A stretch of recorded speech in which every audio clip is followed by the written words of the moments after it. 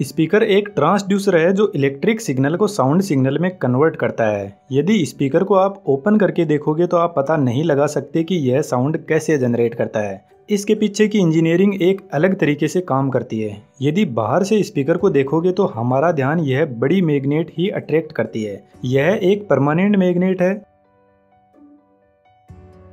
इस मैग्नेट के बीच में एक होल होता है जिसका बहुत बड़ा रोल है। इस मैग्नेट के भी दो पोल होते हैं, ऊपर की साइड नॉर्थ पोल और नीचे की side south pole.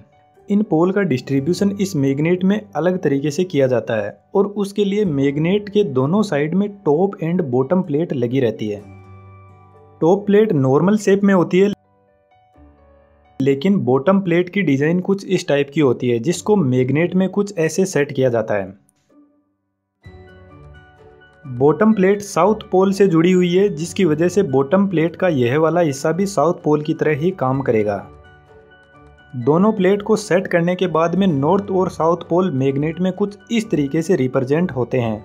Top plate पर बास्केट को सेट किया जाता है, जिसके ऊपर पूरा साउंड का सेटअप तैयार किया जाता है।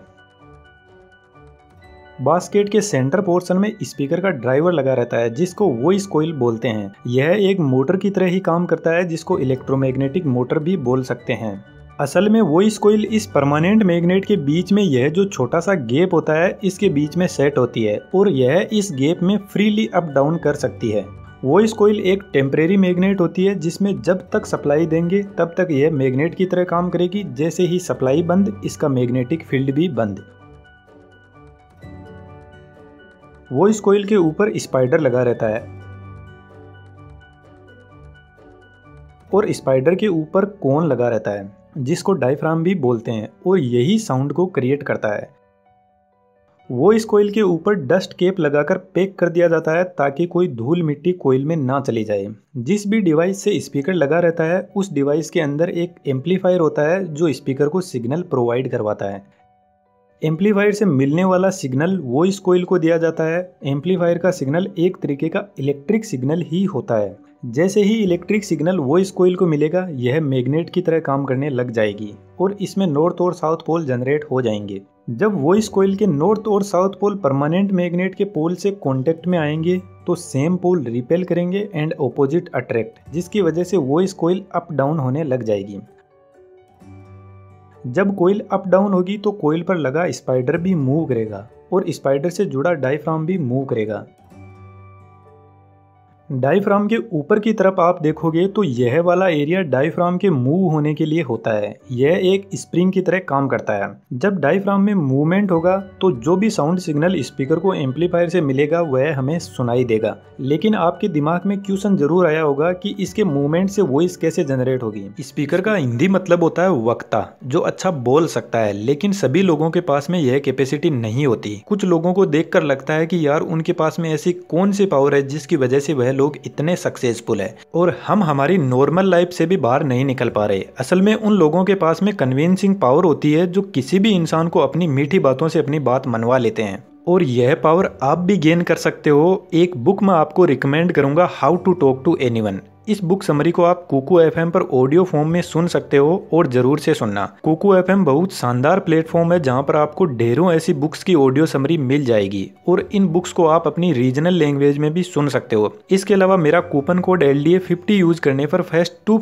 यूज़र्स को फिफ्टी डिस्काउंट मिलने के बाद एक साल की कॉस्ट वन हो जाएगी। लिंक वीडियो के डिस्क्रिप्शन में दिया हुआ है, वहाँ से कुकू एफ़ ऐप को डाउनलोड कर सकते हो। Now back to the point यह एक साउंड एडिटिंग सॉफ्टवेयर है। इसमें इसी वीडियो की स्क्रिप्ट डालने पर यहाँ पर आपको कुछ वेव फॉर्म से दिखाई दे रही है। यदि मैं इसको जूम करता ही जाऊँगा तो लास्ट में आपको कुछ वेव फॉर्म का पैटर्न दिखाई देने लगेगा।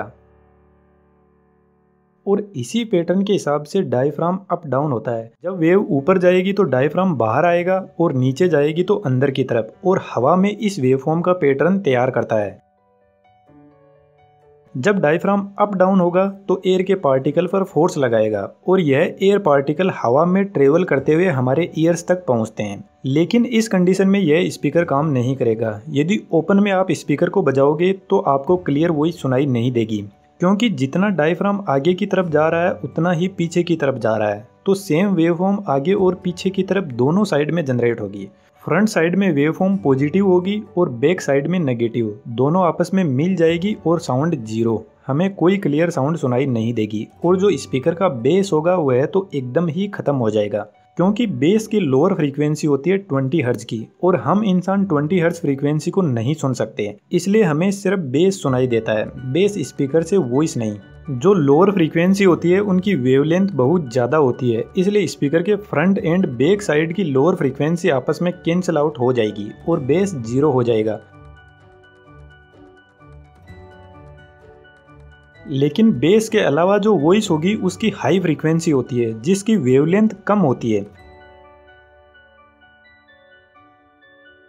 यह फ्रीक्वेंसी कैंसिल तो नहीं होती है, लेकिन स्पीकर के दोनों साइड में होने की वजह से हमें क्लियर वॉइस भी सुनाई नहीं देती। ऐसा लगता है जैसे एक ही साथ में दो इंसान एक ही बात बोल रहे हैं। यदि स्पीकर को हम किसी एनक्लोजर में बंद कर देते हैं तो बैक साइड की फ्रीक्वेंसी एनक्लोजर में ट्रेप हो जाएगी और हमें सिर्फ़ फ्रंट साइड की वॉइस ही सुनाई देगी। एकदम क्लियर लेकिन आज की लेटेस्ट टेक्नोलॉजी के स्पीकर में होल भी होता है। यहाँ पर रेजोनेंट फ्रीक्वेंसी का कंसेप्ट सामने आता है। मेनली इस होल का पर्पज यही होता है कि बैक साइड की फ्रीक्वेंसी भी होल से घूम कर आती है और फ्रंट साइड में एड हो जाती है और वॉइस को और ज़्यादा क्लियर बनाता है। दोस्तों how to talk to any one book को कुकू एफएम पर एक बार ज़रूर से सुनना, यदि आपको बोलने में हेजिटेशन होती है तो। वीडियो पसंद आया तो बहुत सारे ऐसे ही वीडियो चैनल पर विज़िट करके आप एंजॉय कर सकते हो। Thank you